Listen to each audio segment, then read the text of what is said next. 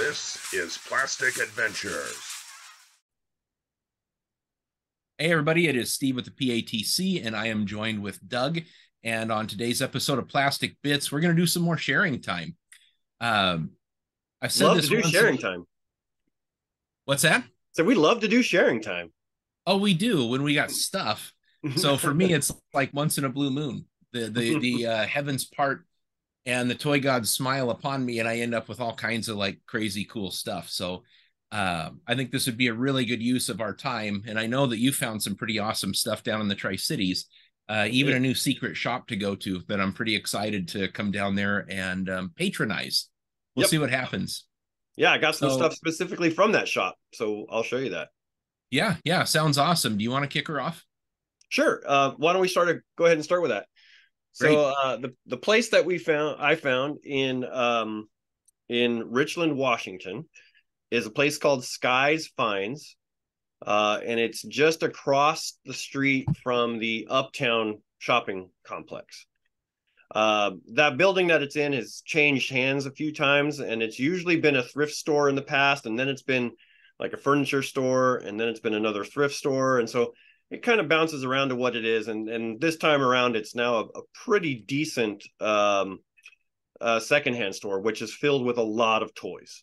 I think that I went in there once when I was around the Tri Cities last time, and there was a few little sparks of some cool vintage stuff in there, but there just wasn't quite, you know, not quite the stuff that you have um, uh, been picking up and finding there. I mean, it was I, I want to say it was like some Star Trek figures or something that they had in there. You know, like Well, he must have just been starting out when you did Uh-huh. because uh, he's pulled out a whole bunch of stuff now. I mean, sounds like Yeah. So he is he's got some pretty cool stuff. I mean, he it's it's a wide spectrum of things that he has. So um but it's some of it is like stuff that you're like, man, I'm not really into Funko Pops. But then other things it's like, well, I can I can buy some Marvel figures. Those look pretty cool. So yeah, uh Yeah. and then he's got a case set up that he's like, you know, uh you can't just go in and touch those ones, but if you want to buy them, those are his higher end toys. Yeah. Um but uh but yeah, it's a pretty cool deal. Um and at that store, I found some of the Toy Biz uh DC and Marvel action figures that they had in the 90s, right? Yeah, started off with the Batman uh, 89 movie line, branched into DC superheroes, and then Toy Biz picked up the license for Marvel. And there were Yep. all these like gimmick based five inch figures, and some were incredibly cool. I, I actually the more I'm looking at them, the more I'm I'm digging them. Right. Um, uh, they are a bit chunky compared to like some of the newer Mar- uh, Marvel figures. Uh, they're limited articulation. They start off with a five point articulation, but then they have a knee bend, so they have a seven point. Um, some of them have some pretty interesting weapon uh, slash accessories that go along with them. Yeah. Uh, but for the most part, they're they're actually pretty cool, and uh, I'm glad I, I I don't normally collect superhero ones. Uh, I got like a small box of superhero figures, but then when I saw these, there was something about them that was like, okay, that's my jam. I think I'll go ahead and buy those. Yeah, also probably the price. Well, the price was a good thing too. So yeah, yeah, good Yeah. deal, good deal, right? so the first one I'm gonna show off is I, I put them in bags because I just wanted to keep their accessories together. Uh, but the Toy Biz Penguin, I don't know if you can see him. Yeah, yeah. So originally, I think he was supposed to have this little tiny missile that went into the end of the umbrella and fired have it. out. yeah, I got it. Okay, you do have that. For some reason, I thought it was a deal where the the gimmick just shot the whole top of the umbrella off. No, so you, you have the umbrella and you got his little umbrella stick that goes there, but then in the top, he's got the little missile that fires out. If I can get my hands on it. Yeah. So the missile goes in the umbrella. Oh, big missile. Yes. Yeah. Yeah. And it shoots out, you know. So Yeah. Okay. Okay. I think originally that was going to start off as something really small. And when you push it down, it like flushes up to the top of the umbrella and just looks like, you know, the, the center of the umbrella. But uh, I think that the, the law back then was like you had to have the projectiles at two inches so that Mhm. kids wouldn't like, you know, Battlestar Galactica themselves. yeah, exactly. Um, whoever had these figures before him uh, kept them in really well, really, really good condition. I don't know if you can like yeah, that that out, penguin but- figure is always missing paint on the stomach for some reason. He's not missing any paint anywhere. He's he's right on. But then I looked at at what packaged ones cost, and they're like twenty two dollars. I can go out and buy a packaged penguin, no problem. Like that's that's not a big deal. Yeah, like if you go into an antique store anywhere, you should be guaranteed to find a DC Heroes Lex Luthor. Oh yeah, I mean, I'd be, I would pick him up in too. Package.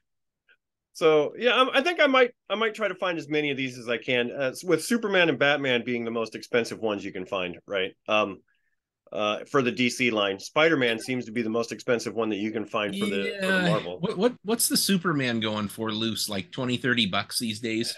Well, it depends on like if his symbol is clear, if he's got no paint rub, if he still has his cape, and if his cape still has the symbol on the back. So, I mean, you can get him from with no cape from you know eight bucks to you know perfect to just out of the package for like forty five. So yeah, I I bought one. Uh, I want to say I only paid like ten or twelve bucks in good shape, but I bought a repro cape because. Uh. Uh, same with I have a superpowers Batman, and I just was not gonna yeah.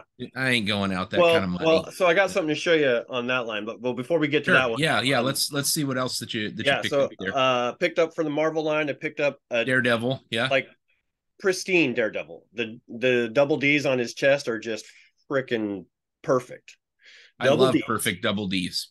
I knew you were going to say that. Uh, I set you up for that one. Uh, this one I actually like a lot more than I thought I would. This Punisher figure is really cool. Yeah, cap firing action. Absolutely, and he comes with like a crap ton of accessories. And uh, like I said, he's perfect. There's no paint wear or anything on him. He, this guy came right out of the package. Yeah, that was that was my first uh, Punisher figure. I had seen the '89 movie, uh, probably in about 1990. I didn't mm-hmm. know it existed for a while, and a kid brought it over on like bootleg VHS to watch for some reason. Like it was recorded off of, off of Cinemax. Cinemax or something. uh, but I fell in love with it, and I'd already read the Punisher comics. So the only thing I regret about that figure is he's got one closed fist and then like one that holds. One, so he can't do the double fisted. Yeah, he could have yeah. dual wielded, but they they had to kill the cap firing action a little bit later down the road, and they put him in a ugly shiny vinyl trench coat with well, that's guns. what I was like. All, all, he's missing is the bandana and the trench coat, and he would be like square in the '90s Punisher, right? Yeah, yeah, but it's a it was a really neat figure. Um, yeah, I like him. I There's a couple different variations of him too from Toy Biz. So yeah, I got I got both of the carded versions, the caps, and then the uh, full weapon arsenal with the trench coat. I don't know why I don't buy the talking one because I want it, but the it's only like twenty bucks, like. twenty bucks on card, you know, and I I just I keep not buying it. I don't know why. But sorry, uh, what what else you got there, dude? So this one, Captain America. Yeah. Got his shield and the shield launcher was with him. So yeah, I, am liking these characters and these particular figures more than I thought I would. Um, okay, so in that one, uh, there was actually a pristine Secret Wars 1984. Oh, no paint rub, no nothing on this guy. No, it's he's like, perfect. Yeah. What, and so I looked him to... up and he's worth way more than I paid for him. What, what are those uh 50 60 bucks now? Yeah, if they're in good condition. But yeah. then so this is this is what's going to get you and, the, and and these are yours by the way. Um so uh I came with a heavily heavily customed Wolverine. Right? He was still the Secret Wars Wolverine, but completely painted over to be the yellow and blue instead of the off yellow and and dark like burnt like burnt orange or whatever he is. But he did have both of his claws. Yes. Yep. And sir, I looked these up. $39 a piece. they are yes. not cheap compared to what I bought them for. Holy crap. But they are both those are yours. Those are going right to your well, collection. Don't worry, my friend. I I have found things for you.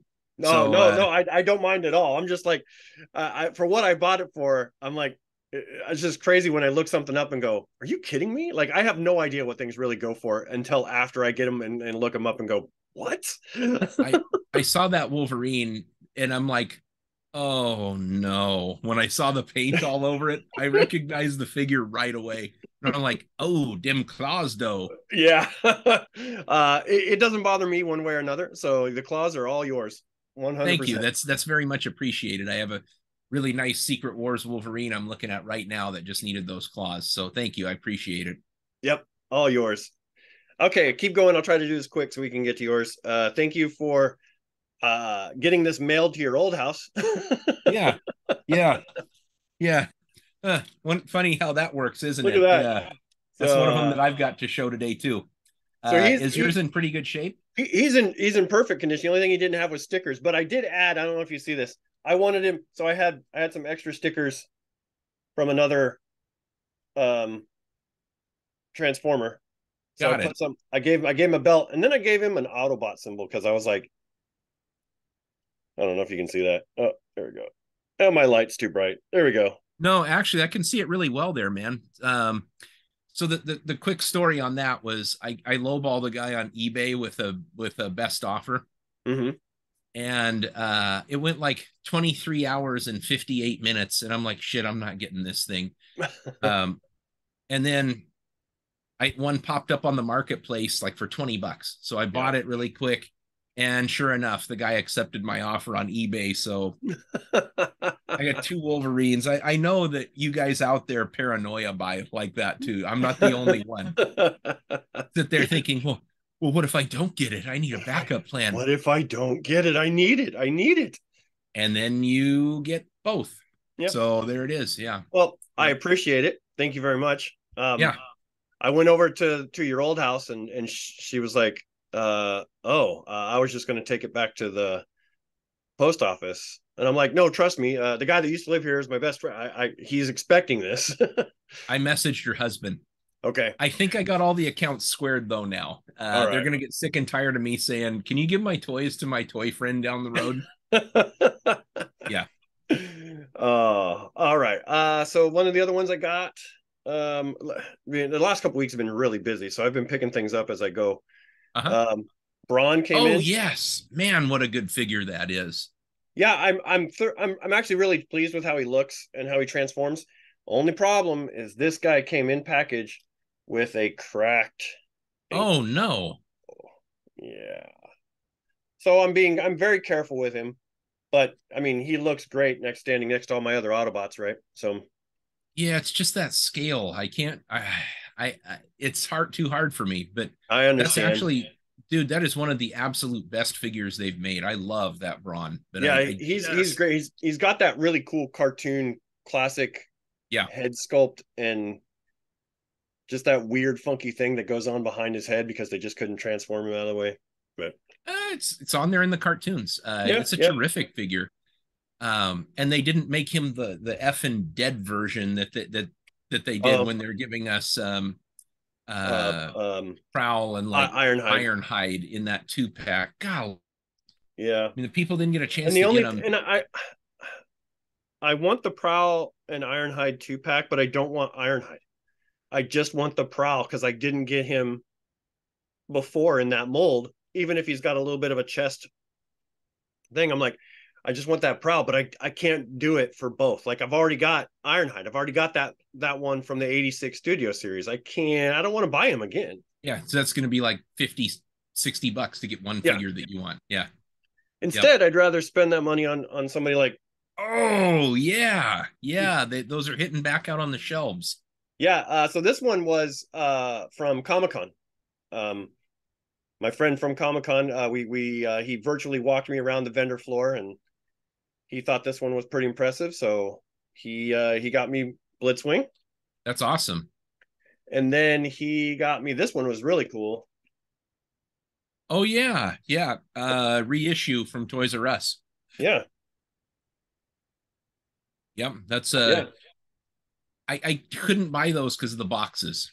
But like if you ever wanted to feel the toys again, I mean it was aside from like some changes for safety, like the size of the missiles, they were really, really, really uh, this toys. one. Um, so the the reissue after this one, they changed the missile size. This one is the same size as the original. awesome. Yeah. Uh, okay, let's see. Before I, I show you the really, really big one, uh, I'll get into some of these other ones. So I got got my eels that had Yeah, ordered from. Amazon. He's a great figure. Uh, I noticed though that he has a lot of the same body parts that are on Torpedo. So like his legs, um, his chest, uh, even some of his gear, like his flippers, his gun, his his uh, scuba gear, and all that. It's the same as Torpedoes. Um, which Kind of makes sense a little bit. it does. It Yeah. does kind of make sense. not not really a new figure mold except for his head and some of the the coloring and design on that. Great Uh, looking did- colors, though. I did finally pick up one of these guys, Oh, finally, So, like, finally, you just got worn out and guy. got it. mainly for him. I mean, S- Splinter's cool, but I really wanted this this version of the Shredder. Well, even those are starting to disappear now. Yeah. Um, every so often I see one or two of them or the April and Casey farmhouse two pack. Um, I was in way, way, way uh South Whidbey Island today, and we stopped at the Walmart in Oak Harbor, and I saw Michelangelo and Raphael two packs there Oh yeah, from from original Ninja Turtles. But um, I mean, time's gone. If you can still grab them, good for you. yep. Um, I saw them. They still had the two pack of the Foot Clan soldiers, but I I didn't want to spring for two of those because they were still, you know, lots of money. Was that one Um, on clearance, or did you have to pay full price? I had to pay full price for that one, Yeah, it's okay though. but it was the right. only one I found after that. So it was like, uh, no, I'm just gonna do it. I'm just gonna do it. good figures. Yep, yep. Uh, but one of the the last thing I got to show off is, is probably the thing I'm most excited about is um and we're probably gonna have to go to our, our next segment for yours. Sorry, I had I had more stuff than I thought about, but That's okay. That's all right. cool. All right. Uh so have you seen these before? Oh, oh, yes. Okay. So, um, so this guy is is legitimately Megatron, cool. and then you had uh, which was a Walther P38, and then you had Browning. Yep. Um, yes. Okay. I'm familiar with it. I actually thought that uh, Browning was pretty awesome back in the day. That figure, he he kind of looked more Megatron-y than Megatron did. Seriously. But I I like the design of this character. And so this I mean it is obviously a, repro- a reproduction. It's hard to find a Browning in this condition, brand new, still in in the original box, right? Is but this a direct reissue, or is this like a third party? No, this figure? is, is it's a reissue. It's not really a reproduction. It's a, it's a reissue. Uh, but Yeah, dude, he looks awesome. He looks better than he looks more like Megatron from the cartoon than Megatron did. yeah, and you know me and and Vac Metal, dude. Like I'm just like Yeah. a sucker for Vac Metal. but this was this was great. Um, I had the opportunity to grab him, uh, and I didn't want to pass it up. I really didn't because I know I was like, I had the opportunity now, and if I don't take it now, um, I'm never, I'm not going to do it again. Right? Just not going to do it. And that's how toy collecting is. It's like you got to take the shot when you see it, or who knows if or when it will ever come back up again. Right? Yeah, I I paranoia buy a lot. So, uh, but that one, I mean, Brad Browning, he he transforms perfectly. All of his his limbs are tight. He's brand new. There's no nothing. He's got both of his weapons, and apparently he shoots uh, plastic bullets that came with plastic bullets too. So Cool. there- there you go, kids. Don't choke on that. I can't even imagine. That's like those anti-marijuana commercials from the 80s. I'm so stoned. You know, what what what are kids I'm gonna doing? shoot myself with a plastic bullet. click. Ah, ah, uh, like, like what? You might as well be shooting yourself in the eye with those fake plastic bullets. Uh, I, I mean, come on now. apparently it it it did hurt some kids in the past i mean uh, like you said the battlestar galactica apparently the kid was uh, dumb enough to it shove it into down his throat and pull the trigger and pull the trigger so i mean i, I don't know i don't know but I don't yeah know if I can if I can legally call that natural selection without getting on somebody's hit list for a, a lawsuit, but eh, call Yeah, whatever. it is. Yeah. uh yeah no that that's what i've got and so um because we we ran the first segment long we'll we'll run a commercial and then we'll go uh we'll go into yours how about that sounds great.